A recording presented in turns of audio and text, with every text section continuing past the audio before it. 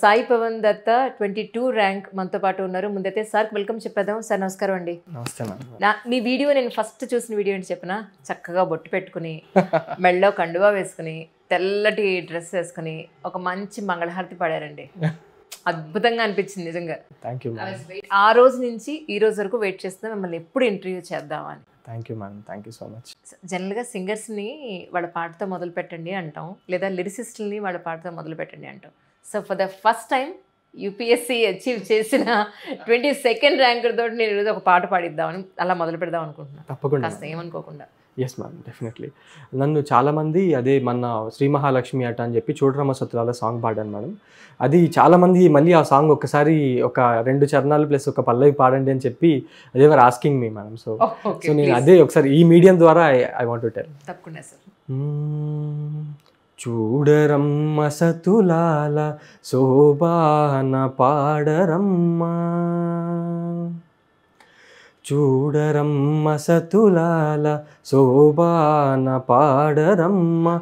కూడున్నది పతి చూడి కుడుతనాంచారి శోభానే శోభానే. శోభానే శోభానే. శ్రీ మహాలక్ష్మి అట సింగారాలకే మరుదు కాముని తల్లి అట చక్కదనాలకే మరుదు. శ్రీ మహాలక్ష్మి అట సింగారాలకే మరుదు కాముని తల్లి అట చక్కదనాలకే మరుదు. సోమునితో బుట్టువట సొంపు కలలకే మరుదు కోమలాంగి. ఈ చూడి కుడుతనాంచారి చూడరమ్మ సతులాల శోభాన పాడరమ్మ కూడున్నది. పతి చూడి కుడుతనాంచారి శోభానే శోభానే. శోభానే శోభానే. అద్భుతం అండి. థ్యాంక్ యూ సో మచ్ ముందుగా మీ పేరెంట్స్కి నా నమస్కారాలు తెలియచేయాలి. ఎందుకంటే ఈ రోజుల్లో మీరు నమ్మరు మంగళహారతి ఆడపిల్లలే నేర్చుకోవట్లేదు. అలాంటిది చక్కగా మీరు ఇంత అద్భుతంగా పాడారు.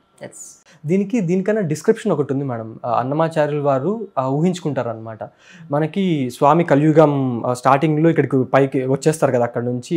ఈ భృగు మహర్షి తన్నటం అవన్నీ మనకి ఆ స్టోరీస్ తెలుసు కదా.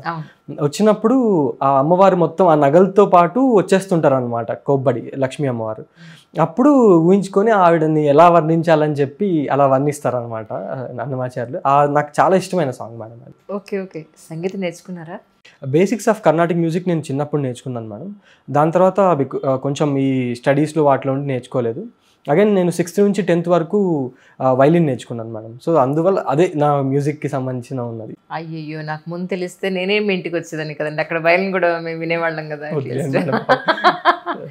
దట్స్ రియలీ నైస్ కానీ ఒక్కసారి మీ నేటివ్ ప్లేస్ గురించి పేరెంట్స్ గురించి సిబ్లింగ్స్ గురించి మా కోసం. షూర్ మ్యామ్ మాది ఒక typical south Indian middle class family ma'am so మేము నలుగురం. సో నాన్నగారు ఎల్ఐసిలో వర్క్ చేస్తారు. జి వెంకటేశ్వర్లు గారు. ఇప్పుడు రాజంపేటలో వర్క్ చేస్తున్నారు మేడం అడ్మినిస్ట్రేటివ్ ఆఫీసర్గా అండ్ అమ్మగారు ఎస్ లలిత కుమారి గారు జెడ్పీజీహెచ్ఎస్ కోడూరులో వర్క్ చేస్తున్నారు మేడం టీచర్గా అండ్ తమ్ముడు జీవీఎస్ కార్తవీర్య.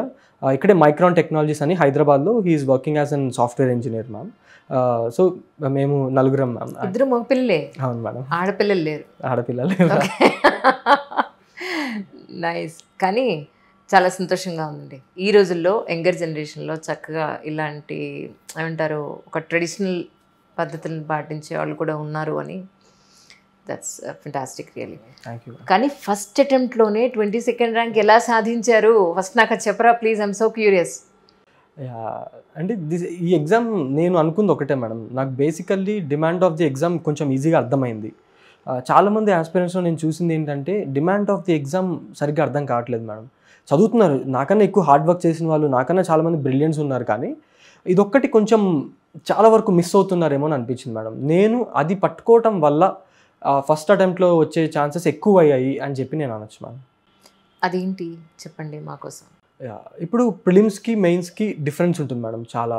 సో ప్రిలిమ్స్కి వచ్చేసరికి ఈ ఇయర్ మినహాయిస్తే ఇంతవరకు వచ్చిన కొన్ని కొన్ని ఎలిమినేషన్ టెక్నిక్స్ కానివ్వచ్చు లేదా ఎంతవరకు లిమిటెడ్ నెంబర్ ఆఫ్ రిసోర్సెస్ పెట్టుకోవడం కావచ్చు multiple revisions and analysis from previous years questions చేయడం వల్ల కానివ్వచ్చు వీటి వల్ల ప్రిలిమ్స్లో సెలెక్ట్ అయ్యే అవకాశం ఎక్కువ పెరుగుతుంది మేడం అండ్ మెయిన్స్కి వచ్చేసరికి అగైన్ సేమ్ లిమిటెడ్ రిసోర్సెస్ పెట్టుకొని multiple revisions with very crisp short notes ఉండాలి మేడం. అంటే అయ్యి ఇది ఉండడం వల్ల ఛాన్సెస్ అనేవి ఎక్కువ అవుతాయి. బట్ అగైన్ మనం మెయిన్స్కి వచ్చేసరికి సబ్జెక్టివిటీ ఉంటుంది. ఎందుకంటే మనం హ్యూమన్ ఒక హ్యూమన్ కూర్చొని కరెక్షన్ చేస్తాడు పేపర్స్. సో అది ఉన్నప్పుడు ఖచ్చితంగా ఒక రకమైన సబ్జెక్టివిటీ అనేది ఉంటుంది మేడం. సో దానికే మనము లక్ అనే ఒక పేరు పెట్టుకుంటాం అనమాట జనరల్లీ. సో మేబీ ఆ లక్ కూడా నాకు కొంచెం ఫేవర్ చేయడం వల్ల మేబీ ఇది అయినట్టుంది మేడం కొంచెం. అంటే మీరు ఏ స్ట్రాటజీ మీద ఫస్ట్ అటెంప్ట్లో మీరు సాధించగలిగారు అని అంటే? ఈ ప్రాపర్ స్ట్రాటజీ అంటూ ఏం లేదు మేడం. నా స్ట్రాటజీ ఏంటంటే స్ట్రాటజీ లేకపోవడమే అనమాట బేసికల్లీ అయ్యో. ఓకే. సో నేను అదే మేడం ఇనిషియల్గా నేను నాకు చెప్పినట్టు మనకి యూపీఎస్సీ క్లిస్టర్ క్లియర్ సిలబస్ ఇస్తుంది మేడం మెయిన్స్కి సో ప్రిలిమ్స్కి కొంచెం కొంచెం వేగ్గా ఉన్నట్టు అనిపిస్తుంది కానీ మెయిన్స్కి వచ్చేసరికి మాత్రం వెరీ క్రిస్టల్ క్లియర్ సిలబస్ ఇస్తుంది మేడం. ప్రతి కీవర్డ్కి మనం రాసేటప్పుడు ఒక two pages of A four ఇనీషియల్గా two pages of A four sheet నేను నోట్స్ చేసుకునేవాడిని మేడం. తర్వాతకు వచ్చేసరికి ఐ యూస్ టు జస్ట్ ఒక చిన్న షార్ట్ నోట్స్ లాగా దాన్నే ఇప్పుడు టూ పేజెస్ చేశాను అనుకోండి దాన్ని ఒక హాఫ్ పేజ్లో నేను రాసేసుకునేవాడిని మొత్తం. అది మ్యాప్స్ కానివ్వచ్చు లేకపోతే ఫ్లో చార్ట్స్ కానివ్వచ్చు ఇంకా వేరే ఏమైనా వాల్యూ ఎడిషన్స్ కానివ్వచ్చు ఇలాంటివి నేను చేసుకునేవాడిని మేడం. యా సో ఇప్పుడు ఒక దానికి ఒక స్ట్రాటజీ అనేది ఒక పేరు పెడితే maybe this is my strategy అని చెప్పుకోవచ్చు మ్యామ్ అంటే మీది ప్రిపరేషన్ అంతా మొత్తం ఎక్కడ నడిచిందండి?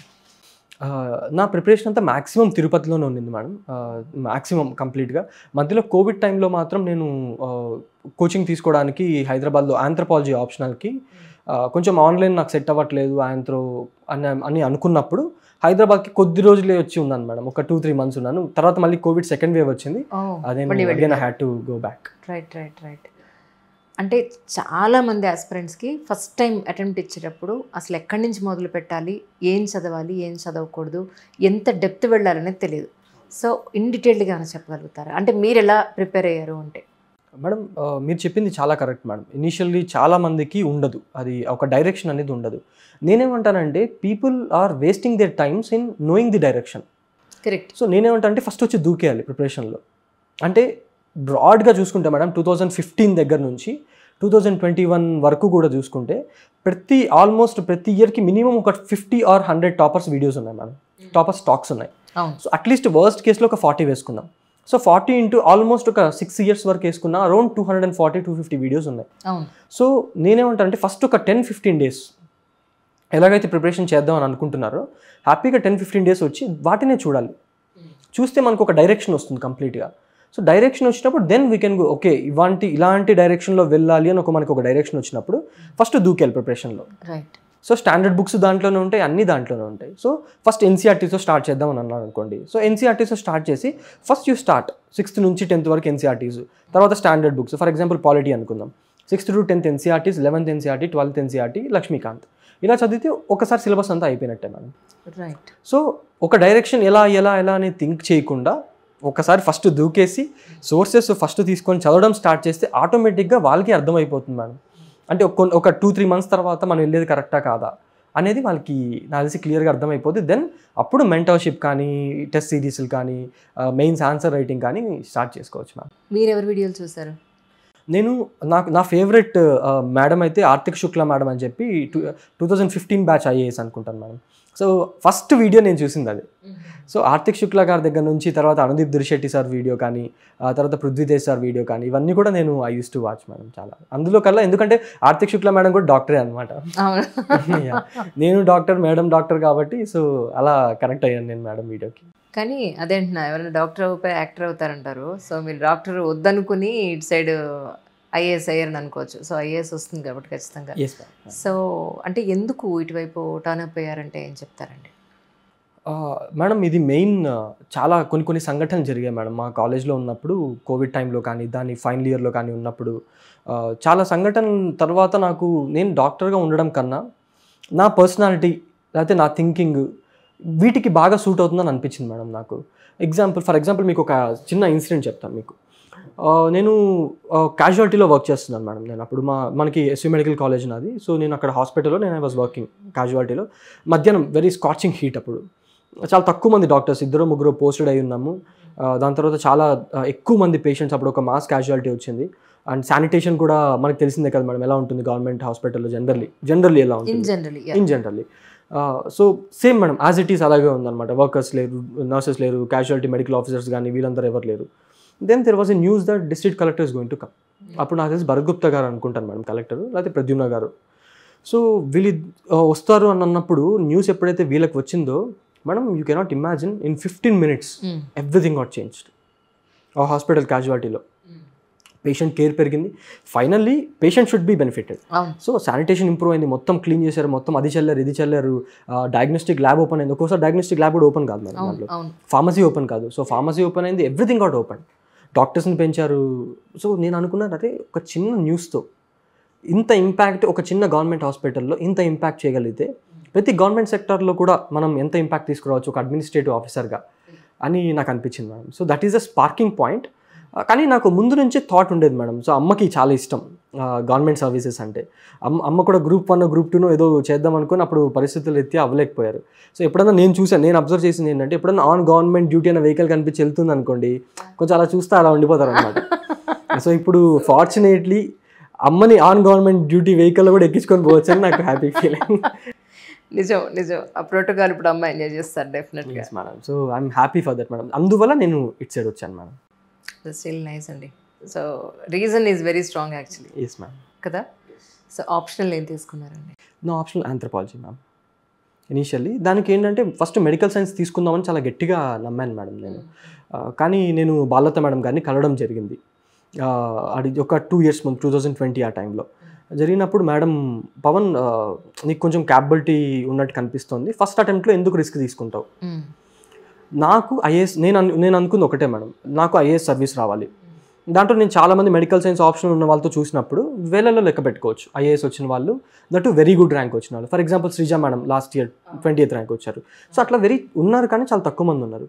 నేను అనుకున్నాను ఎందుకు రిస్క్ తీసుకోవడం? ఆంథ్రపాలజీ కన్సిస్టెంట్గా ప్రతి ఇయర్ టాప్ ట్వంటీ కానీ థర్టీ కానీ మినిమం ఫోర్ ఫైవ్ పర్సన్స్ ఉన్నారనమాట సో నేను నాకు of course I was very good at medical science కానీ నేను రిస్క్ తీసుకోకుండా లే- కొంచెం ఆంథ్రపాలజీ తీసుకొని నేను ఆప్షన్ అందుకే చూస్ చేసుకున్నాను మేడం అండ్ తర్వాత తీసుకున్న తర్వాత సోషల్ మేడం దగ్గర నేను తీసుకున్నాను అనమాట కోచింగ్ చాలా అద్భుతంగా అనిపించింది మేడం ఆంథ్రపాలజీ సో అందువల్ల నేను have taken a very right decision అని అనిపించింది అనమాట నాకు. దట్స్ గ్రేట్ రియలీ అంటే చాలామంది డాక్టర్స్ వైపు నుంచి వచ్చిన ఇంజనీర్ అయ్యి వచ్చినా కూడా ఈ ఆప్షనల్ పాయింట్ ఆఫ్ వ్యూలో చాలా కన్ఫ్యూజ్ అవుతారు. నిజానికి కూడా. సో మీరు తీసుకున్న రైట్ చాయిస్ అని మీరు నమ్మారు. అలా- అలాగే రిజల్ట్స్ కూడా అలాగే వచ్చింది. కరెక్ట్ Um, అంటే మీరు స్పెషలైజేషన్ అని చేస్తారా డాక్టర్ దాంట్లో? లేదు మేడం స్పెషలైజేషన్ ఏం చేయలేదు మేడం. యా సో డైరెక్ట్గా ఎంబీబీఎస్ అయిపోయింది. దాని తర్వాత కోవిడ్ టైం మేడం అది. తర్వాత మా మేము కొంతకాలం అటు ఇటు ఇక్కడక్కడ వర్క్ చేసుకుంటూ సైమల్టేనియస్గా ప్రిపరేషన్ స్టార్ట్ చేద్దాం అని అనుకున్నాం కానీ కుదరలేదు అప్పుడు. ఎందుకంటే నాకు కూడా కోవిడ్ వచ్చింది. ఆల్మోస్ట్ జనవరి టూ థౌజండ్ ట్వంటీ టూలో నేను ప్రిపరేషన్ స్టార్ట్ చేశాను మేడం. పర్ఫెక్ట్ ప్రిపరేషన్ అంటే మాత్రం. సో ఐ హ్యాడ్ కొంచెం time off around five to six months prelims అప్పుడు. మీరు ప్రిలిమ్స్కి సపరేట్గా మెయిన్స్కి సపరేట్గా ప్రిపేర్ అయ్యారండి? లేకపోతే రెండింటికి కలిపి ఒకసారి ప్రిపేర్ అయ్యారా? రెండిటికి కలిపి ప్రిపేర్ అయ్యాను మేడం నేనైతే. So first two or three months నేను రెండు ఇంటగ్రేటెడ్ చేశాను. తర్వాత from the month of April May June అప్పుడు జూన్ ఫోర్త్ అనుకుంటాను exam so April May June కంప్లీట్గా నేను మొత్తం ప్రిలిమ్స్కి ఇచ్చాను madam so around sixty five to seventy days నేను ఎక్స్క్లూజివ్గా ప్రిలిమ్స్కి చదివాను. అంతకు ముందు వరకు జనవరి నుంచి ఇంటగ్రేటెడ్ ప్రిపరేషన్ చేశాను మేడం. రైట్ కానీ ఒక్కసారి ఫస్ట్ అటెంప్ట్ అప్పుడే మీరు ఎక్స్పెక్ట్ చేశారా? ర్యాంక్ వస్తుందని? అది కూడా ఇంత మంచి ర్యాంక్ వస్తుందని అనుకున్నారా? మేడం మెయిన్స్ రాసి ఇప్పుడు మా తమ్ముడు ఒకటి చెప్తుండేవాడు మేడం. చూసిన తర్వాత అన్న నువ్వు కానా మెయిన్స్ బయటికి రాసి వచ్చి నాకు వస్తుంది అని నీకు అనిపిస్తే మాత్రం నీకు వచ్చేస్తుంది అన్న పక్క అని చెప్పాను మేడం. సేమ్ అదే మేడం మీ నంబరు వాడు కూడా నాతో పాటు వచ్చాడు అనమాట ఎగ్జామ్ రాయడానికి బికాస్ ఈ వర్క్స్ ఇన్ హైదరాబాద్ నాకు కూడా హైదరాబాద్ ఉన్నాయి సెంటర్ సో రా లాస్ట్ ఎగ్జామ్ రాసినప్పుడు వచ్చి అన్న ఎలా నీకు చెప్పాను కదా ఎలా అనిపిస్తుంది నీకు? అని.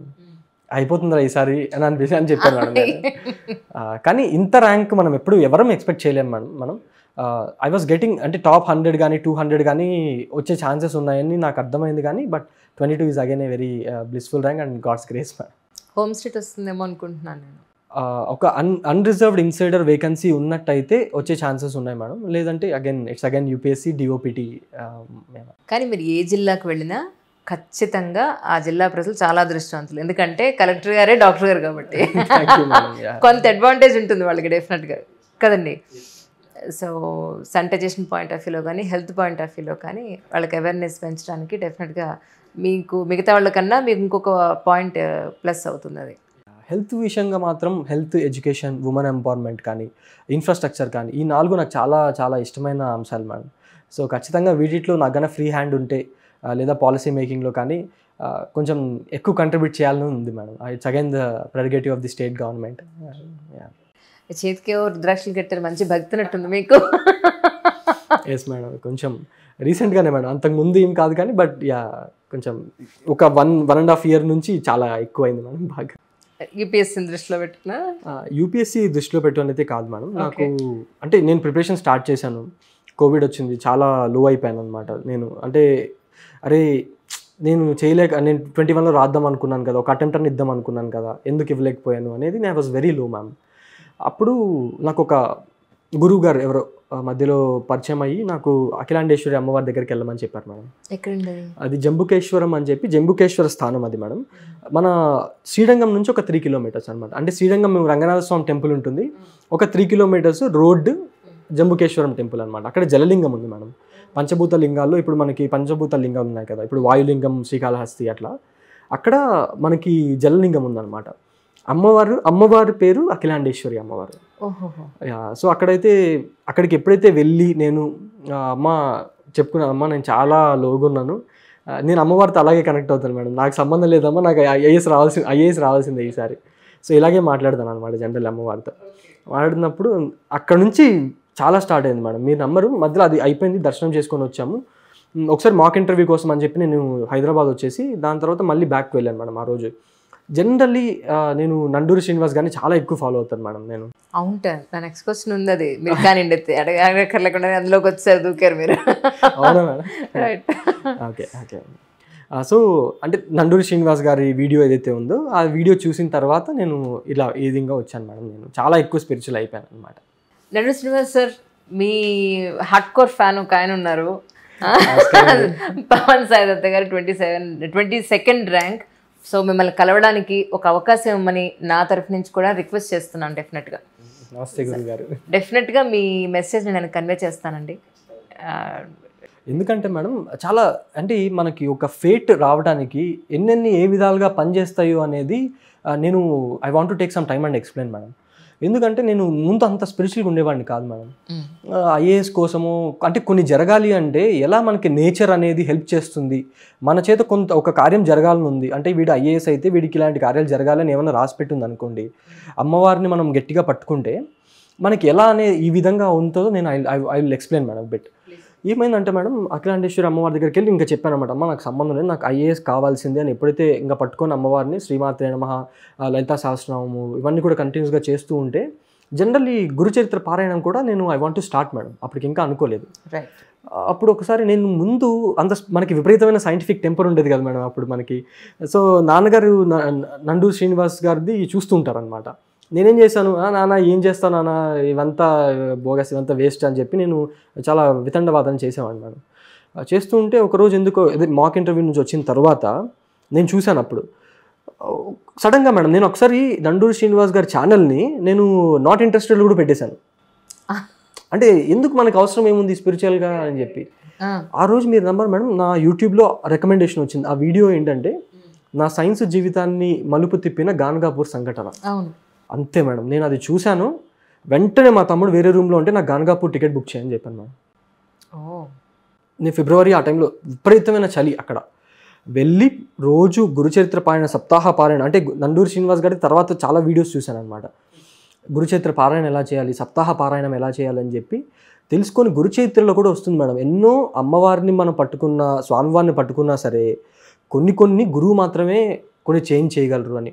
దాంట్లో కూడా శ్రీపాద వల్లభులు కానీ నృసింహ సరస్వతి స్వామి కానీ కొంత కొంతమంది జాతకాల్ని మార్చేసిన ఆ సందర్భాలు దాంట్లో మనకి వస్తాయి మేడం దాంట్లో. వాళ్ళ యొక్క ఫేటే మారిపోతుంది అనమాట అప్పుడు నాకు తెలిసి నాకు అదే అనిపించింది. ఇప్పుడు గురుమండల రూపిణి అని లలిత సహస్రనామంలో వస్తుంది కదా సో కాబట్టి అమ్మవారే గురువు స్థానం కాదే కాదనట్లేదు. కానీ గురువు గారి కోసం పంపించారు అని చెప్పి నాకు అనిపించింది మేడం. వెళ్ళాను సప్తాహ పారాయణం చేసి ప్రతిరోజు మార్నింగ్ త్రీ ఓ క్లాక్కి లేచేవాడిని. టూ ఓ క్లాక్కి లేచి మూడు గంటలకి వెళ్ళి స్వామివారి నిజపాద దర్శనం ఉంటుంది. నిజపాద దర్శనం చేసుకొని ఆ గురుచరిత్ర పారాయణం చేసుకొని ఒకరోజు అష్టతీర్థాల్లో స్నానం చేసి అది కూడా నండూరు శ్రీనివాస్ గారి వల్లే. అక్కడ మనకి తెలియని ప్లేసెస్ కూడా నండూరు శ్రీనివాస్ గారు ఒక వీడియోలు చెప్తారనమాట మనకి. గాడ్ చాలా లిస్ట్గా చేశారండి బాబు. అలా చేశాను మేడం. చేసిన తర్వాతనే ఇంకొకటి మేడం అక్కడ నేను శ్రీ గణపతి సత్యానంద స్వామీజీ వారి ఫాలోయర్ మేడం. నేను మేము అడ్డెన్ డివోటీస్ ఆఫ్ స్వామీజీ అనమాట మైసూర్ దత్తపీఠం. సో స్వామివారి ఆశ్రమం ఉంటుంది అక్కడ. దాంట్లోకి వచ్చేసరికి అనగా దత్తక్షేత్రంలో కెంపు స్టోన్ ఉంటుంది మేడం ముందు. కెంపు ఈజ్ నోన్ ఫర్ సూర్య అనమాట if if at all have to talk in astrology terms so నన్ను అక్కడికి పంపించడం ఏంటి? అక్కడ కెంపుతో చేసిన పాదాలు ఉండడం ఏంటి? దాంతో ఆ పాదాలకి నాకు అభిషేకం చేయించడం ఏంటి? సూర్య రశ్మి పడుతున్నప్పుడు ఆ టైంలో. సో చాలామంది నాకు ఆస్ట్రాలజీ ప్రకారం చెప్తే I will not get into I will not get IAS madam నిజమా? నిజం మేడం మరి అయ్యారు కదా ఇప్పుడు? దట్ ఈస్ వాట్ మేడం ఒకవేళ అదే కన్నా నిజమైతే ఇది జరుగుండకూడదు కదా మేడం ఓకే. సో అందుకనే దీనిలో కూడా నాకు గరికపాటి వారి ప్రవచనాలు అవన్నీ కూడా చాలా హెల్ప్ అయ్యాయి మేడం అలా ఇద్దరు నాకు వర్చువల్ గురువులు అనమాట ఈ భాషలో చెప్పాలనుకుంటే. Okay okay. గరికపాటి గారిని కలిసినట్టున్నారు. అవును మేడం. రీసెంట్లీ అనుగ్రహించారు గురువు గారు వెళ్ళి దర్శనం చేసుకోవడం కూడా జరిగింది గురువు గారిది ఆ గురువు గారి గురించి చెప్పాలంటే మేడం నేను నాకు ఎంతో ఎంతో యూజ్ అయింది మేడం నాకు. ఫర్ ఎగ్జాంపుల్ ఇది ఎప్పుడు మనం జనరల్లీ టిపికల్ బ్రాహ్మణ్ ఫ్యామిలీస్లో ఆస్ట్రాలజీ కానీ ఇవన్నీ ఎక్కువ నమ్ముతూ ఉంటాం మేడం మనం. సో నాకు కూడా ఎప్పుడైతే ఈ అబ్బాయికి ఐఏఎస్ రాదు అని ఎప్పుడైతే వాళ్ళ నాన్న వాళ్ళ ఫ్రెండ్స్ కానీ కొంతమందికి చూపించిన హైదరాబాద్లోని కొంతమంది ఫేమస్ ఆస్ట్రాలజర్స్ని చూపించినప్పుడు ఆ, రాదని చెప్పారు మేడం. ఈ అబ్బాయికి వచ్చే ప్రసక్తి లేదు అన్నారు. అప్పుడు ఒకసారి యూట్యూబ్లోనే మేడం యూట్యూబ్లో చూస్తున్నప్పుడు గురువుగారి ప్రవచనం ఒకటి కనిపించింది అనమాట సరే ఏంటి చూద్దాం అసలు మనకి ఏమైనా యూజ్ అవుతుంది అన్నప్పుడు గురువుగారు సుప్రభాతం అంటే నాకు వెంకటేశ్వర స్వామి అంటే కూడా విపరీతంగా ఇష్టం మేడం. దాంట్లో చెప్తారనమాట. సుప్రభాతంలో ఒక లైన్ వస్తుంది. సూర్యేందు భౌమ బుధ వాక్పతి కావ్య సౌరి స్వర్భాను కేతు దివిషత్ పరిషత్ ప్రధానా త్వద్దాస దాస దాస శ్రీ తవ సుప్రభాతం. సో దాంట్లో దాని యొక్క అర్థం ఏంటంటే ఈ గ్రహాలు సూర్య సూర్యేందు భౌమ ఇవన్నీ గ్రహాలు మేడం తొమ్మిది గ్రహాలు. ఈ గ్రహాలన్నీ ఓకే ఫైన్ ఉన్నాయి వాటిని ఏమైనా చేస్తాయి లేదో మనకు తెలియదు కానీ ఆ వెంకటేశ్వర స్వామి యొక్క దాసులకి అప్పుడు చరణాలు పట్టుకుంటే మనకి ఎంతో లబ్ధి చేకూరుస్తుంది. ఈ గ్రహాలన్నీ కూడా ఆ ఆయన యొక్క దాసులకు దాసులకు దాసులకు దాసులు. నువ్వు వెళ్ళి ఆయన్ని పట్టుకో ఈ గ్రహాలు ఒకవేళ ఉంటే నిన్నేం చేస్తాయి అని చాలా చమత్కారంగా చాలా చెప్తారు మేడం అసలు. అది చూసి నేను అప్పటి నుంచి మేడం నేను ఒక్క ఎవరితో మాట్లాడడం కానీ అమ్మ వాళ్ళతో కానీ వీటి గురించి ఇష్ట ఇదేంటి అదేంటి అని కంప్లీట్గా మానేసాను ఇంకా ఫ్యూచర్లో కూడా నేను ఐ వోంట్ మేడం. అంటే నేను ఆ శాస్త్రాన్ని నేను తప్పట్టట్లేదు. ఒకవేళ ఉన్నా కూడా Question మనకి. సొల్యూషన్ సొల్యూషన్ దొరికింది కదా మనకి. ఒకవేళ నిజంగా ఏమైనా ఎఫెక్ట్స్ ఉంటే పోయి అమ్మవారిని పట్టుకోండి. లేకపోతే పోయి వెంకటేశ్వర స్వామిని పడితే మీకు ఇష్టదైవాన్ని పట్టుకుంటే మొత్తం కంప్లీట్గా చేంజ్ అయిపోతుంది కదా మేడం మన గురువుగారితో మాట్లాడుతున్నప్పుడు కూడా హీ వాస్ టెలింగ్ నేను ఆ గురువుగారు నేను అఖిలాండేశ్వరి అమ్మవారిని చాలా నమ్ముతాను చాలా ప్రార్థిస్తాను అమ్మవారిని కూడా అంటే అమ్మవారి గురించి చెప్తున్నారు. రెండు తాటంకాలు ఉంటాయండి. శంకరాచార్యులు వాళ్ళు పెడతారు అమ్మవారికి అఖిలాండేశ్వరి అమ్మవారికి. ఒక తాటంకంలో సూర్యమండలం ఇంకో తాటంకంలో చంద్రమండలం ఉన్నాయన్నమాట. అదే అంటారు అమ్మవారు సూర్యమండలాన్ని తన తాటంకంలో పెట్టుకున్నారా? ఇంకా నీ గ్రహాల గురించి నీకెందుకు? హ్యాపీగా నువ్వు ఏం చేసుకుంటావో లోపల భగవత్ నామ స్మరణ మాత్రం మానకుండా you can do whatever you want do ethically legally so గురువుగారు కూడా చాలా మేడం. అదే ఇలాంటివి నేను ఎందుకు చెప్తున్నానంటే మేడం ఇంత నాకు రీసెంట్లీ ఒక ఫైవ్ సిక్స్ మెసేజెస్ నాకు టెలిగ్రామ్లో వచ్చాయి మేడం. సార్ నాకు కూడా ఆస్ట్రాలజీ ప్రకారం రాదని చెప్పారండి. మీరు చెప్పిన వీడియో నేను చూసి నేను మళ్ళీ I'm coming to the civil services preparation అండి అని చెప్పి చెప్పారు మేడం. నిజమండి. ఎందుకంటే జాతకంలో ఉంది అని చెప్పని దానికి ఫిక్స్ ఆన్ అయిపోయి మిగతా వాడు, "ఆ, ఎందుకు వచ్చిందిలే అది ఇలా చెప్పేశారు కాబట్టి దాని ప్రయత్నమే లేకుండా అయిపోతుంది కదా అన్నట్టుగా అయిపోతుంది చాలాసార్లు. సో మురారి సినిమాలో అన్నట్టుగా సంకల్ప బలం అంటారు చూడండి మేడం. సో ఆ సంకల్ప బలం ఉంటే నాకు తెలిసి అవి ఉన్నా లేకపోయినా we don't know madam. Uh, so మన నమ్మకం మన హార్డ్ వర్క్ ఉంటే ఖచ్చితంగా ఆ లక్ అనేది వచ్చి తీరుతుందని చెప్పి నేను నమ్ముతాను మేడం. ప్రకారంగా అది అమ్మవారిని చూసిన తర్వాతనే నేను అది గట్టిగా అంతే. ఇంకా లైఫ్ లాంగ్ కూడా మేడం అంతే. అమ్మవారిని పట్టుకున్నామా? ఇంకా మనకి అంత సవ్యంగా జరుగుతుందని నేను నమ్ముతాను మేడం. నిజంగా నిజంగా. అంటే యంగ్స్టర్స్లో ఇంత గొప్ప గుణాలు చూడడం the first time after so many years I think so thank you madam అంతా అదే మేడం నండూరి శ్రీనివాస్ గారు అండ్ గరికపాటి లాంటి గ- గరికపాటి వారు లాంటి వాళ్ళ పెద్దల యొక్క ఆశీర్వాదం. వాళ్ళు చేస్తున్న సేవ మేడం అలాంటి సొసైటీకి అవన్నీ ఒక ఎత్తైతే మీ పేరెంట్స్ మీకు ఇచ్చిన గొప్ప గుణాలు. వాటికి ఎస్ మేడం అమ్మ కూడా అసలు లలితా సహస్రం వన్ నాట్ ఎయిట్ టైమ్స్ చేశారు మేడం నాకు ఇంటర్వ్యూ అయ్యేలోపు. నాన్నగారు హనుమాన్ చాలీసా సుందరకాండ పారాయణం. ఇంట్లోకి వెళ్తే ఏంటంటే ఫస్ట్ మా ఇంట్లో అట్లా ఎంటర్ అవ్వగానే కామాక్షి అమ్మవారి విగ్రహం కనిపిస్తుంది మేడం. అండ్ అంత అంటే చాలా అది చేయటం వల్ల అక్కడ కూర్చొని విపరీతమైన పాజిటివిటీ వచ్చింది మేడం ఇంట్లో. శ్రీచక్రం ఉంటుంది ఒక చిన్న శ్రీచక్రం ఉంటుంది. దానికి పూజ చేసుకుంటూ ఉంటాము సో ఐ థింక్ వాళ్ళు కూడా నాకు ఎంతో చేశారు మేడం. తమ్ముడు కూడా మాకు వేణుతల కోన అని చెప్పి మా బాబాయ్ గారి ట్రస్ట్ మేడం అక్కడ. మనకి కడప దగ్గరలో పెండిమల్లి మండలం దగ్గర ఉంటుందన్నమాట. వేణుతల కోన దేవస్థానం సో దానికి తమ్ముడు కూడా నా పేరు చెప్పి నేను అన్న కోసం సేవ చేస్తున్నాను ఇక్కడ. సో ఏదన్నా వచ్చినా కూడా నాకు కాదు మా అన్నకి వెళ్ళాలి ఇంటర్వ్యూకి వెళ్తున్నాడు అని చెప్పి వాడు వెళ్ళి సేవ చేసి వచ్చాడు మేడం కంటిన్యూస్గా. సో నైస్ సో ముగ్గురు చాలా హెల్ప్ చేశారు మేడం. ఈవెన్ మా తాతగారు కూడా సుబ్బారావు గారు రిటైర్డ్ ఎస్బీఐ మేనేజర్ అనమాట సుబ్బారావు గారు కూడా మొత్తం రామాయణం పారాయణం చేయడం కానీ పునర్వసు నక్షత్రం రోజు ఇది చెయ్యాలని చెప్పి అంటే నా నక్షత్రం అది మేడం. ఆ రోజు నేను చెయ్యాలి అని చెప్పి ఆయన ఒక పునర్వసుకి ఇంకో పునర్వసుకి మధ్యలో రామాయణం కంప్లీట్ చేయడము. అలా అందరూ నాకు చాలా చేశారు మేడం. అంటే దైవం దగ్గర నుంచి అందరూ చేశారు మేడం నాకు. అలా అందరి పూజ ఫలం ఫైనల్గా సింగిల్ అటెంప్ట్లో కరెక్ట్ మేడం సాధించేశారు అంతే ఒక్కొక్కళ్ళు five years six years invest చేస్తున్న టైంలో భగవంతుని ఖండించడం అన్నింటికీ నుంచి మీ ఎఫర్ట్ గట్టిగా పెట్టారండి. అంటే నేను నమ్మేది ఏంటంటే నా చేత చేయించింది కూడా అమ్మవారే అని నమ్ముతాను మేడం నేను. సో నాకు ఆ సంకల్పం రావడం కూడా మందేం లేదు మేడం అది సో అంతా ఆవిడ నా చేత కొంత పని జరగాలి కాబట్టి ఆమె చేయాల్సిన కొన్ని పనులు ఉంటాయి కదా మేడం మన సొసైటీకి. నా ద్వారా చేయించుకుంటున్నారు? అంతే. అంతకుమించి నేను చేసింది ఏమీ లేదు మేడం లిటరల్లీ. రిజల్ట్స్ వచ్చిన రోజు ఒకసారి ఆ మూమెంట్ని ఒకసారి మా కోసం పంచుకుంటారు? ఎస్ మేడం ఇది రెండు మేడం. మీరు మేడం మేడం అనకండి మీకు పుణ్యం ఉంటుంది. మీరు your IAS officer just just after journalist please madam అయ్యో ఆఫ్టర్ ఆల్ జర్నలిస్ట్ అనకూడదు madam because see it's again your elder sir so definitely madam have to give that respect so madam ఇది two times two రెండు రకాలుగా చెప్తాను. రెండు two days ముందు ఆమె hard core RCB fan madam. ఐపీఎల్లో royal Challengers బెంగళూరుకి విపరీతమైన ఫ్యాన్ అనమాట ఓకే. సో విపరీతంగా బాధపడ్డాను. ఈసారి కూడా మా వాళ్ళు వెళ్ళలేదు అని చెప్పి టూ డేస్ బాధపడుతుంటే మొన్న అయిపోయింది. తర్వాత రోజు మధ్యాహ్నం రిజల్ట్ వచ్చింది అనమాట సో నేను పడుతున్న బాధలో ఏదైనా మంచి జరిగింది అంటే అది నా రిజల్ట్ మేడం ఒకటి. ఫస్ట్ ఇంకా ఆ మూమెంట్ అంటే నేను అమ్మ అమ్మ తమ్ముడు మేడం తమ్ముడు చెక్ చేస్తున్నాడు రిజల్ట్ అండ్ అమ్మగారు ఉన్నారనమాట ఉన్నప్పుడు ఇంకా రిజల్ట్ రాగానే దే హ్ హగ్డ్ ఇప్పటికీ నేను ఆ హగ్స్ అనేవి ఐ కెన్ సి అమ్మ నిన్నమాట నేను నేను ఎట్లయితే నిన్ను చూడాలనుకున్నానో అట్లే అయ్యేవరా అని చెప్పి అమ్మ షీ క్రైడ్ సో నేను బట్ నేనైతే ఐఎమ్ వెరీ స్టేబుల్గా ఉన్నాను మేడం. ఎందుకంటే నేను చేసింది ఏం లేదు. ఇచ్చినా ఇవ్వకపోయినా అంతా అమ్మవారి. కాబట్టి నేను చేసింది ఏం లేదని నేను అనుకున్నాను కాబట్టి వచ్చినా ఓకే ఫైన్ లేదన్నా ఇట్స్ కంప్లీట్లీ ఫైన్ అని చెప్పి ఉన్నాను మేడం నేను. వాళ్ళిద్దరు మాత్రం ఎగ్జైటెడ్ చాలా ఎగ్జైట్ అయ్యారు వాళ్ళిద్దరు. ఆ తర్వాత నాన్నగారు వెంటనే రావటము రాజంపేట నుంచి అప్పుడు ఇన్ఛార్జ్ బియ్యంగా ఉన్నారు మేడం ఆ రోజు. సో ఖచ్చితంగా అప్పటికప్పటికి వెంటనే వచ్చేసారు వచ్చేసి నేను ఆ రోజు సాయంత్రం నేను ఐ కేమ్ టు హైదరాబాద్ అనమాట అప్పటి నుంచి బిజీ బిజీగానే నడుస్తుంది మీ డే. కంప్లీట్లీ మొత్తం వెక్స్ అయిపోయాను మేడం మొత్తం ఇలాంటి. సో ఇప్పుడు ఎందుకు మీరు జాతకాన్ని నమ్ముతున్నారా లేదా? జాతకాన్ని అని కాదు మేడం నేనైతే అమ్మ వాళ్ళకి కానీ రేపు పొద్దున ఫ్యూచర్ ఫంక్షన్స్లో కానీ ఏదైనా సరే I'm not at all giving them the hint నేను ఖచ్చితంగా ఇది చూసి చేయాలని కానీ. మ్మ్. ఎవరైనా వచ్చారంటే కూడా అది అమ్మవారి అనుగ్రహమే మేడం అంతే. సో నేను అందుకని నేనైతే ప్రస్తు ప్రస్తుతానికైతే నేను జాతకాన్ని అయితే నేను నమ్మట్లేదు. ఏదన్నా ఉన్నా కూడా ఒకవేళ నేను నమ్మాలి అవి ఉన్నాయి అనుకున్నా కూడా ఏదన్నా ట్రబుల్ వచ్చినా కూడా డైరెక్ట్ చలో శ్రీరంగం చలో జంబుకేశ్వరం అంతే. రైట్ సో ఇప్పటికే బోడని సంబంధాలు వచ్చి ఉంటాయి గ్యారంటీగా లేదు మేడం. సంబంధాలు వచ్చినా కూడా నేను ఒక one one and half year వరకు నేను వర్క్ నేర్చుకోవాలి చాలా. అండ్ ఇంకా చాలా నేర్చుకోవాలి కదా మేడం ఇంకా చిన్నపిల్ల ట్రూ అంటే వచ్చి ఉంటాయి అంటున్నాను నేను అనేది. వచ్చాయి మేడం. కదా?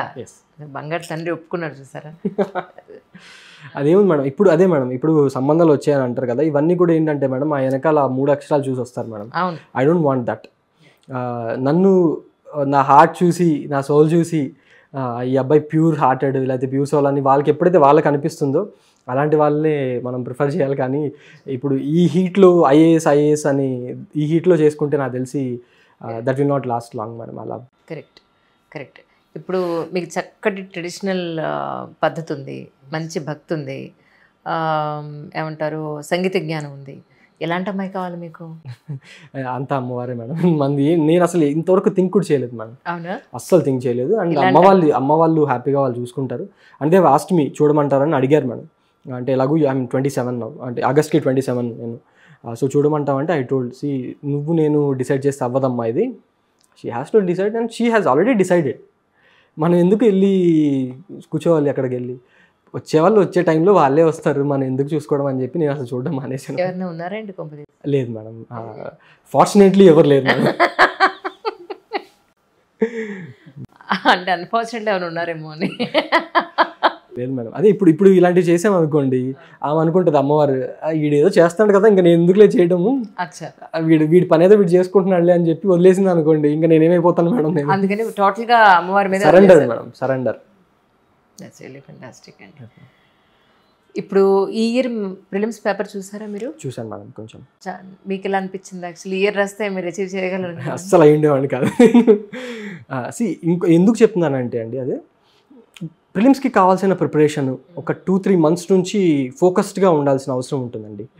కానీ నాకు May fifteenth was my interview May twenty eighth prelims నేను మే ఫిఫ్టీన్త్ వరకు అనుకున్నాను. నేను కొడితే ఈ అటెంప్ట్లోనే కొడతాను. ప్రిలిమ్స్కి అయితే ప్రిపేర్ కాను. Let me prepare for the interview అని చెప్పి నేను ఇంటర్వ్యూ ఇంటర్వ్యూకే ప్రిపేర్ అయ్యానండి. సో ఇంటర్వ్యూకి ప్రిపేర్ అవ్వాల్సిన మైండ్ సెట్ డిఫరెంట్ ప్రిలిమ్స్కి ప్రిపేర్ అవ్వాల్సిన మైండ్ సెట్ ఫోకస్ చేయాల్సిన కాన్సెప్ట్స్ డిఫరెంట్ సో నేను ఫోకస్ చేయలేదు కాబట్టి నేను ఈసారి అయితే ఖచ్చితంగా పాస్ అయి ఉండేవాడిని కాదు. అదే ప్రొవైడెడ్ నేను ఒక టూ త్రీ మంత్స్ని చేసుకుని ఉంటే maybe chances could have been more అని అనిపించింది నాకు. So that is the thing ma'am right ఇప్పుడు next one and half month two మంత్స్లో మనకి మెయిన్స్ ప్రిపేర్ అయ్యే వాళ్ళు ఉన్నారు ఆస్పిరెంట్స్ సో వాళ్ళకి ఏదైనా కొన్ని టిప్స్ అనండి ఇంపార్టెంట్ పాయింట్స్ అనండి? Sure madam one is stick to the basics క్లీ crystal clear syllabus ఇచ్చే యూపీఎస్సీ ఇస్తుంది కాబట్టి ప్రతి కీవర్డ్కి ఒక two pages of A four sheet ఇనీషియల్గా చేసి పెట్టుకొని దానికన్నా మనం కన్సైజ్ చేసుకుంటూ వెళ్తే సరిపోతుంది మేడం దానికి నేను ఫాలో అయిన ప్రాపర్గా చేసిన ప్రిపరేషన్ స్ట్రాటజీ అని అనుకుంటే ఐ ఫోర్ సి అని చెప్తాను మేడం నేను. అంటే introduction conclusion and four for four pros four cons or maybe the four advantages four disadvantages or four challenges four governmental initiatives four four way forwards నేను నేను ప్రతి టాపిక్కి ఇలాగే ప్రిపేర్ అయ్యాను madam. Extra ఒక్క ముక్క కూడా చదివేవాడిని కాదు. ఫర్ ఎగ్జాంపుల్ నేను చాలా వీడియోస్లో చెప్పాను మేడం. చాలా చోట్ల కూడా టాపర్ స్టాక్స్లో కూడా చెప్పాను అనమాట ఫర్ ఎగ్జాంపుల్ ఫార్మర్స్ గురించి అడిగారు అనుకుందాం నేను ఇర్రెస్పెక్టివ్ ఆఫ్ ది క్వశ్చన్ నా ఇంట్రొడక్షన్ నేను ముందే చేసి పెట్టేసుకున్నాను త్రీ మంత్స్లో ఫార్మర్స్ గురించి కానీ అగ్రికల్చర్ గురించి కానీ నాకు క్వశ్చన్ వస్తే నేను agriculture is a one of the important sectors of the economy it is contributing so so and so percentage of GDP and it is employing so and so percentage of the employment అనేది నా introduction so నేను ఇది ముందే చేసి పెట్టుకున్నాను. కంక్లూజన్కి వచ్చేసరికి as Dalwai committee has recommended so we have to emphasise more on doubling the farmers income by two thousand twenty four twenty five twenty whatever it is so this is how I have prepared every topic madam introduction conclusion మధ్యలో agriculture అన్నారు అనుకోండి what are the challenges నాలుగు వచ్చేస్తాయి easy topics అవును ఏం way forward ఏం చేయాలి? Contract లా తీసుకురావాలి లేదా వాళ్ళకి ఆ ఇన్ఫ్రాస్ట్రక్చర్ పెంచాలి అగ్రికల్చర్ అగ్రి స్టార్టప్స్ తీసుకురావాలి. సో ఇలాంటివి వే ఫార్వర్డ్స్ ఇవన్నీ ఎక్కడ దొరుకుతాయంటే కంపైలేషన్స్లో కానీ స్టాండర్డ్ బుక్స్లో కానీ అన్ని చోట్ల దొరుకుతాయి మేడం ఇప్పుడు ప్రొవైడెడ్ దట్ ఇప్పుడు నాకు ఏమైపోయింది? ఛాలెంజెస్ అయిపోయి అన్నీ అయిపోయాయి మేడం. ఇప్పుడు నాకు నాకు పేపర్లో అగ్రికల్చర్ గురించి ఏ ఆర్టికల్ వచ్చినా నేను చదవను మేడం మెయిన్స్కి అస్సలు చదవను. ఎందుకంటే ఆల్రెడీ నాకు అగ్రికల్చర్ గురించి నాకు సంబంధించిన ఇన్ఫర్మేషన్ ఉంది. Already if agriculture question is given నేను కూర్చొని హ్యాపీగా టూ హండ్రెడ్ వర్డ్స్ ఆన్సర్ రాస్తాను నేను. సో ఇంకా నా దగ్గర ఆన్సర్ ఉన్నప్పుడు why should I read newspaper articles repeated articles so this is what my strategy was ma'am అందుకే కొంచెం తక్కువ టైంలోనే కొంచెం ఈజీ అయిపోయినట్టు నాకు అనిపించింది స్మార్ట్ వర్క్లో అయిపోయింది. ఎస్ రైట్ అంటే ఆన్సర్ రైటింగ్ పాయింట్ ఆఫ్ వ్యూలో మీరు ఎలా ప్రిపేర్ అయ్యారు? అంటే ఇట్స్ ఇండివిజువల్ చాయిస్ కాబట్టి పర్సన్ టు పర్సన్ డిఫరెన్స్ ఉంటుంది డెఫినెట్గా. సో మీరు ఎలా రాశారు ఆన్సర్ రైటింగ్ అనేది? ఎగ్జామ్కి ముందు జనరల్గా హండ్రెడ్ టాపిక్స్ ప్రిపేర్ అయితే మీకు ఈజీగా ఉంటుందని అంటారు. కొంతమంది నేను ఫిఫ్టీ కన్నా ఎక్కువ ప్రిపేర్ అవ్వలేదండి అంటారు. సో మీ విషయంలో మీరు ఏం చేశారంటే ఏం చెప్తారు? యా ఆన్సర్ రైటింగ్ వచ్చేసరికి ఇట్స్ అగైన్ యూనిక్ మ్యామ్ నాకు because I was a medicine student మేము చాలా రాస్తూ ఉంటాం. చాలా డయాగ్రామ్స్ చాలా ఫ్లో చార్ట్స్ అది ఇన్హెరెంట్గా మా బ్లడ్లోకి వచ్చేస్తుంది అనమాట రాసేటప్పుడు. సో నాకు ఇక్కడ ఆన్సర్ రైటింగ్ అంత ఇబ్బంది కలగలేదు మేడం. సో అందుకని నేను మొత్తం చూసుకున్నట్టయితే జిఎస్కి ఒక నాలుగు ఐదు టెస్టులు రాసి ఉంటాను. ఆప్షనల్కి ఒక నాలుగు టెస్టులు రాసి ఉంటాను అంతే. మ్మ్. ఎందుకు? ఐ హ్యావ్ నేను ఒక మూడు నాలుగు టెస్టులు రాసిన తర్వాత నా స్ట్రెంగ్త్ ఆన్సర్ రైటింగ్ అని నేను ఐడెంటిఫై చేసుకున్నాను. సో నా స్ట్రెంగ్స్కి అంత అది ఉన్నప్పుడు నేను why I should invest more time in that so నా మెంటర్స్ కూడా సార్ ఇది ఇది పరిస్థితి. సో ఇది నేను ఇలా రాశాను. నన్ను ఏం చేయమంటారని అడిగాను. నీ స్ట్రెంగ్స్ నువ్వు ఐడెంటిఫై చేసుకున్నప్పుడు దాన్ని వదిలేసి అప్పుడప్పుడు రాసుకుంటూ ఉండు. ఒక రెండు క్వశ్చన్లో మూడు క్వశ్చన్లో ఎప్పుడైతే అంటే ఆ చేతికి అలవాటు పోకుండా ఉండడానికి రాసుకుంటూ ఉండు. ఎక్కువ వాల్యూ అడిషన్ మీద చేయని చెప్పారు మేడం. సో నేను ఎక్కువ వాల్యూ అడిషన్ చేసుకునేవాడిని. సో వాల్యూ అడిషన్ అంటే ఏంటి? మ్యాప్స్ గీయడము డయాగ్రామ్స్ వేయడము ఫ్లో చార్ట్స్ గీయడము రికమెండ్ ఆ కమిటీ రికమెండేషన్స్ పెట్టడము ఇలాంటివి నేను ఎక్కువ కాన్సన్ట్రేట్ చేశాను మేడం. సో అందుకల్లా కొంచెం పాసిబిలిటీ వచ్చింది అనమాట ఎన్ని ఇయర్స్ పేపర్ మీరు ఆన్సర్స్ చేశారండి? ప్రిలిమ్స్ కానీ మెయిన్స్ కానీ? ప్రిలిమ్స్కి ఒక దిశా బుక్ అని ఒకటి ఉంటుంది మేడం మృణాల్ వాళ్ళది సో అక్కడ నుంచి నేను ప్రతి ఇయర్ అంటే first question to last question చేశాను. ఆ ప్రిలిమ్స్ చేసేటప్పుడు కూడా ఒక క్వశ్చన్లో ఒకటే ఆన్సర్ ఉంటుంది. సో ఆ ఆన్సర్ కాకుండా మిగతా మూడు ఆప్షన్స్ కూడా ఎందుకు ఇచ్చాడు అనేది చూసుకొని వాటిని కూడా నేను నెట్లో వికీపీడియా అని కొడితే మనకి దాని గురించి చూసుకునేవాడిని madam. So right from nineteen eighties నుంచి కూడా నేను ప్రతి క్వశ్చన్ సాల్వ్ చేశాను. But two thousand thirteen or twelve నుంచి నేను ఒక్కొక్క పేపర్ని ఫైవ్ సిక్స్ టైమ్స్ సాల్వ్ చేశాను మేడం నేను. అందువల్ల నాకు మేబీ ఆ యూపీఎస్సి మైండ్ సెట్ కొంచెం అర్థమైందని చెప్పి నాకు అనుకుంటాను అనమాట that is for the prelims మెయిన్స్కి వచ్చేసరికి previous years questions from two thousand thirteen అనుకుంటాను మేడం. అప్పుడే నాకు తెలిసి ప్యాటర్న్ చేంజ్ అయింది. టూ ఆప్షన్స్ వెళ్ళిపోయినాయి. జిఎస్ ఫోర్ పేపర్స్ అయినాయి. అప్పటి నుంచి నేను ప్రీవియస్ ఇయర్స్ క్వశ్చన్స్ చూసుకున్నాను అంటే ఎవరు చెప్పారు ఈ స్ట్రాటజీ మీకు? Madam number of toppers videos అసలు నేను పలానా అని కాదు కానీ నేను ముందే అనుకున్నాను మేడం. సో ఇది అయిపోయింది మెయిన్స్కి ప్రిపరేషన్ స్టార్ట్ చేసినప్పుడు ఆప్షన్కి ప్రీవియస్ ఇయర్స్ క్వశ్చన్స్ చూడాలి. జిఎస్కి ప్రీవియస్ ఇయర్స్ క్వశ్చన్స్ చూడాలి. ఏ ఇయర్ నుంచి చూడాలి? టూ థౌసండ్ థర్టీన్ నుంచి చేయాలి. అయిపోయింది మేడం. దట్స్ ఆల్ దానిలో కూడా చాలా వరకు రిపీటెడ్ టాపిక్సే కనిపిస్తాయి మేడం మనకి. So that is greatness of UPSC అనమాట యూపీఎస్సీ చెప్తుంది బాబు నీకు ప్రీవియస్ ఇయర్స్ క్వశ్చన్స్ చూసుకుంటే చాలరా నువ్వు? హ్యాపీగా చేసుకోరా? అని చెప్పి యూపీఎస్సీ మనకి ఇండైరెక్ట్లీ హింట్ ఇస్తుంది మేడం. కోచింగ్ పాయింట్ ఆఫ్ వ్యూలో చాలామంది ఆస్పిరెంట్స్కి చాలా డౌట్స్ ఉన్నాయండి. సో ఈ విషయంలో మీరు ఏమన్నా వాళ్ళకి అడ్వైస్ చేయగలుగుతారా? Madam it's again depends upon the uniqueness of the person madam. నేను కోచింగ్ ఎందుకు తీసుకోలేదు జిఎస్లో అంటే I had a very strong foundation in in my school నేను I studied in Vishwabharati Gudivada madam sixth నుంచి టెన్త్ వరకు. So it's a very good school నాకు IT foundation దగ్గర నుంచి కానీ సోషల్ సైన్సెస్ కానీ మ్యాథమెటిక్స్ కానీ whatever it is Telugu English Hindi కూడా మాకు అంత బాగా నేర్పించేవాళ్ళు అనమాట సో సోషల్ స్టడీస్కి వచ్చేసరికి I can still remember my social sir in ninth class Varghese Mathew sir అని చెప్పి ఐ రియలీ థ్యాంక్ హిమ్ ఎందుకంటే ఆయన సార్ ఇప్పటికీ ఒక హిట్లర్ గురించి చెప్పినప్పుడు లేదా ఒక వరల్డ్ వరల్డ్ వార్స్ గురించి చెప్పినప్పుడు ఐ ఐ ఇప్పుడు నేను ఐ కెన్ రిమెంబర్ దట్ అనమాట ఆయన నిల్చొని ఎక్స్ప్రెషన్స్ చేంజ్ చేస్తూ హిట్లర్ గురించి చెప్పారని చెప్పి చెప్తున్నప్పుడు అంత సాలిడ్ ఫౌండేషన్ మాకు స్కూల్లో ఉండింది కాబట్టి ఇప్పుడు నాకు చదవడం ఈజీ అయింది madam. So that is the reason అనమాట దాన్ని బట్టి చూసుకొని కోచింగ్ ఉన్న వాళ్ళు అరే మాకు ఇంత సాలిడ్ ఫౌండేషన్ ఉంది కదా కోచింగ్ అవసరం లేదు నాకు అనిపించింది సో నేను తీసుకోలేదు. లేదు నేను నేను కొంచెం ఇక్కడే మళ్ళీ చదవాలి నేను మర్చిపోయాను అని అనుకున్న వాళ్ళు కోచింగ్ తీసుకుంటే చాలా బెటర్ మ్యామ్ కరెక్ట్ ఇంటర్వ్యూ పార్ట్కి వచ్చేటప్పటికి ఏం అడిగారు నేను ఇంటర్వ్యూలో? ఎయిటీ ఫైవ్ పర్సెంట్ నాకు స్మితా నాగరాజ్ మ్యామ్ బోర్డు వచ్చారు ma'am so almost eighty five percent నాకు మెడికల్ వైపు వెళ్ళింది అనమాట ఫార్చునేట్లీ ఆ రోజు ఎవరు డాక్టర్స్ ఎవరు లేరు. నేను వెళ్ళిన మా సిక్స్ మెంబర్స్లో అయితే అస్సలు లేరు. సో వెళ్ళినప్పుడు మేడం మొత్తం ఫస్ట్ రాగానే కోవిడ్లో ఏం చేసావు టూ థౌజండ్ ఫస్ట్ వేవ్కి సెకండ్ వేవ్కి డిఫరెన్స్ ఏంటి? నువ్వు పర్సనల్గా కన్విన్స్ చేసావు కూర్చొని అంత టైం ఉండిందా నీకు? ఫారెన్ ఫారెన్ మెడికల్ గ్రాడ్యుయేట్స్ ఎందుకు యుక్రెయిన్ వాటికి వెళ్ళిపోతున్నారు? సో ఇలా కాన్వర్జేషన్ జరిగింది మేడం మధ్యలో రూరల్కి అర్బన్కి డాక్టర్స్కి డివైడ్ ఉంది కదా ఎందుకు అది ఉంది? ఏం చేస్తే డాక్టర్స్ రూరల్స్ రూరల్కి వెళ్తారని చెప్పారు. నాకు చిన్న ఫన్నీ ఇన్సిడెంట్ జరిగింది మేడం నాకు. నేను అన్నాను మేడం ఆ, చెప్తూ చెప్పుకుంటూ వచ్చాను. ఇన్ఫ్రాస్ట్రక్చర్ లేదు మేడం అది ఇది లేదు మేడం అని చెప్పి. చెప్పుకుంటూ వచ్చి మధ్యలో madam we cannot expect highly qualified post graduate doctors for example take a laparoscopic surgeon madam so because laparoscopic surgery అని చేయడానికి ఇన్ఫ్రాస్ట్రక్చర్ పిహెచ్సిస్లో కానీ సిహెచ్సిస్లో కానీ వాటిలో లేదు. How can we expect that we're sending when when we send this laparoscopic surgeon to అక్కడికి అక్కడికి పంపిస్తే హ్యూమన్ క్యాపిటల్ లూజ్ అయినట్టే కదా మేడం అన్నాను. అప్పుడు మేడం వెంటనే Pavan I completely understand your logic and I get it but నువ్వు కూడా డాక్టర్ అవి రేపు పొద్దున ఐఏఎస్ అయితే నువ్వు సంతకాలే కదా పెడతావు కూర్చొని అన్నారు మేడం. అది నాకు కొంచెం షాక్లా తగిలింది మేడం. అరే ఇది కూడా నిజమే కదా అని చెప్పి. అని అప్పుడు అన్నాను మేడం ఈ డైమెన్షన్లో నేను థింక్ చేయలేదు మేడం. థింక్ చేస్తాను మేడం. అంటే మేడం కూడా చాలా నవ్వారు madam. So that is a very funny incident నాకు జరిగింది. దాని తర్వాత అన్నమాచార్య సంకీర్తనస్ నా హాబీస్ మేడం. జరిగినప్పుడు చెప్పారనమాట నీ ఫేవరెట్ ఒక ఆయన అడిగారు. సో నీ ఫేవరెట్ సంకీర్తన ఏంటంటే నేను చెప్పాను మేడం నా ఫేవరెట్ సంకీర్తన చెప్తే ఆయన పాడమంటారేమో అని చెప్పి అడుగుతాను అనుకుని అనుకున్నాను. బట్ అడగకుండా నా ఫేవరెట్ సంకీర్తన నారాయణతే నమో నమో అని చెప్పి అన్నారు మేడం. నేను భయపడ్డాను నాకు లిరిక్స్. అది పాడమంటారేమో. అని చెప్పి. నాకు లిరిక్స్ దానికి రావు మేడం. అది so that is also one of the thing తర్వాత టాక్సేషన్ ఫైనాన్స్ గురించి how do you break the nexus between doctors and pharmacies ఉన్నాయా నిజంగా? ఉంటే ఎలా బ్రేక్ చేస్తావు? సో ఇట్లా నడిచింది మేడం మొత్తం. ఫైనలీ జర్నీ అంతా సుఖాంతం. రిలీఫ్ మేడం చాలా రిలీఫ్ నుంచి ఒక పెద్ద కొండ తీసి పక్కన పెట్టినట్టు correct yeah that's real nice అండి. మీకు నచ్చిన ఒక అనమాచార కీర్తన పాడతారు? అచ్చమే దేవుని నారాయణ నామమే గతి. చచ్చేటి వారికి సన్యాసము వారికి. ఇచ్చనెవ్వరిందలచి ఇద్దురు పితాళ్ళకు. ఇచ్చనెవ్వరిందలచి ఇద్దురు పితాళ్ళకు.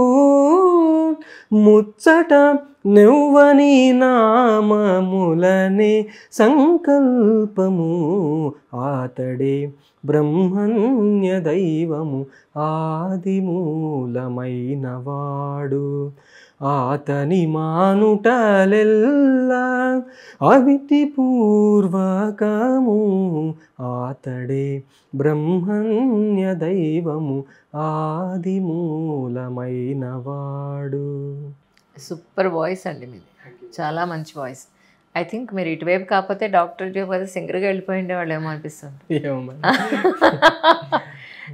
అవును మీ స్టేటస్లో చూసిన క్రికెట్ అంటే చాలా ఇష్టమా మీకు? అవును మేడం.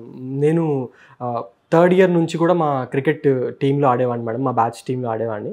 సో అట్లా అంటే అంత సూపర్గా ఆడేవాడిని కాదు కానీ స్టార్టింగ్ అలాగే అప్పుడే మేడం నేను ప్రాపర్ క్రికెట్ అంటే ఇది బాల్స్ ఇలా వేయాలి దీనికి ఇన్ని వేరియేషన్స్ ఉంటాయి ఆఫ్ స్పిన్నర్ మేడం. సో అప్పుడప్పుడే నేర్చుకొని మళ్ళీ ప్రిపరేషన్లో I couldn't play madam. I sincerely hope నాకు ఒక త్రీ ఫోర్ ఇయర్స్ తర్వాత కొంచెం ఇంకా మంచి ప్లేయర్ అవుతానని చెప్పి నాకు అది బాగా నేర్చుకోవాలని మేడం క్రికెట్ నాకు.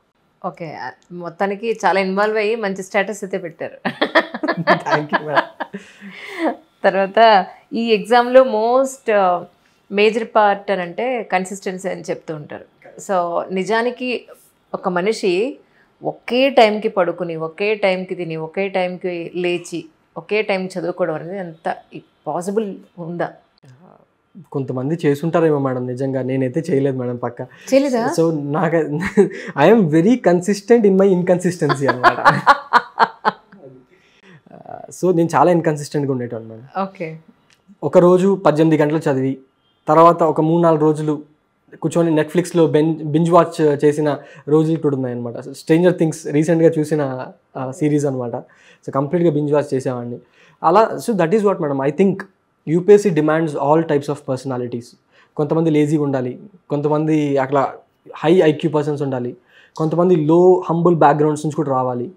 అందరికీ నాకు తెలిసి UPSC will give level playing field అని నాకు అనిపిస్తుంది మేడం. సో అందుకనే ఇన్కస్ ఇన్కన్సిస్టెన్సీ ఉండి కూడా సక్సెస్ ఏదైనా వచ్చిందంటే మేబీ ఎగ్జామ్తోనే మేడం. లేదండి. నాకు అవకాశం ఇచ్చినందుకు నిజంగా నేను మీకు థ్యాంక్స్ చెప్పాలి. ఎందుకంటే మీరు sorry చెప్పాలి మేడం. అయ్యయ్యో అయ్యయ్యో. కానీ మీరు ఏ జిల్లాకు వెళ్ళినా నిజంగా మనస్ఫూర్తిగా చెప్తున్నాను. ఒక కలెక్టర్గానే కాదు ఒక డాక్టర్గానే కాదు. ఒక చక్కటి ఏమంటారు వాల్యూస్ ఉన్న పర్సన్ ఒక జిల్లా కలెక్టర్గా వెళ్ళడం అంటే ఆ జిల్లా ప్రజలందరూ చాలా అదృష్టవంతులుగా భావిస్తున్నారు. థ్యాంక్ యూ మేడం అందరి మీద అమ్మవారి అనుగ్రహం ఉండాలి madam sir thank you so much once again thank you thank so much అండి.